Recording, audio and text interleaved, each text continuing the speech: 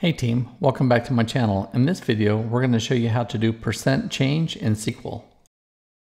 Here is the formula we're going to use, and I have two examples to show you how to use it.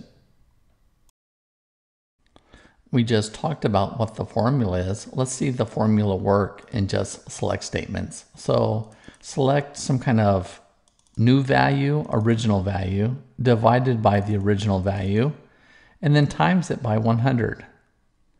When I execute this, notice the value goes to zero. And it goes to zero because these are integers and the integer mathematics produces an integer and this value is less than zero when we start with.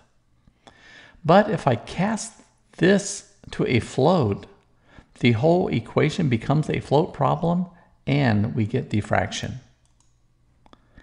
And of course, if we come out with float notation, we stay inside of that for the uh, entire equation. And there you have that.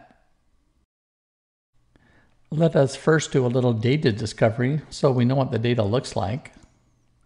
And notice that we have from year 1999 to 2017, and some event took place and the number of people that it affected was 3,059 in 1999.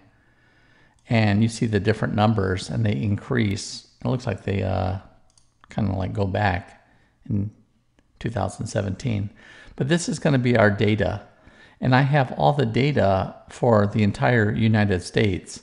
So now we're going to go figure out the percent difference between this number to this number and we're going to do a self join. Let's see that. So there are two things to teach you in this SQL statement. First, we have our equation as percent change. Notice num of events in B minus num events in A. So that's the top part of that equation. And then I divide it by the number of events. Well, number of events is, this is the original, and then this is the one in the future. And then notice I'm using the A version of that, so I'm using the original. Then I times that by 100, and then I alias that as percent change. Now the complicated part of this SQL statement is this join. Notice that I'm joining the same table. And the join is kind of, I wouldn't say funny, but it's a little funny.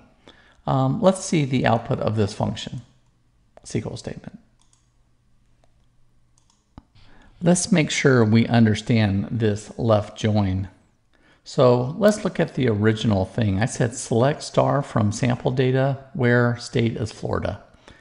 Notice 1999, 3059, 2000, 3265. So when I said a left join on this date, I'm actually going to go and join this line to this line. See the year plus one? And then on the next, when it starts looping over for the next one, 2000 to 2001. And you can see here that in the output, I said uh, year, the year, and then the year, and I'm getting the same value. Do you see that? Plus one. Then the reason why I'm using this left join is notice that when I get down to the bottom, 2017, there is no 2018. 2017 is my last line of data.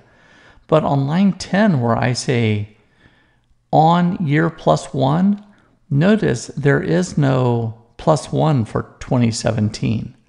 And that is why I had to do a left join because this would not join there is no data. That's why we got the null values. So let us look at percent change. We have the original, this column, and then the, you know, in the future, this column. So how would we do that? What is the math? So we uh, do the first number, 3265 minus 3059 equals, that's this number minus that number, and then we say uh, divide it by this first number, 3059. And that equals uh, 0.067. And then we times that by 100.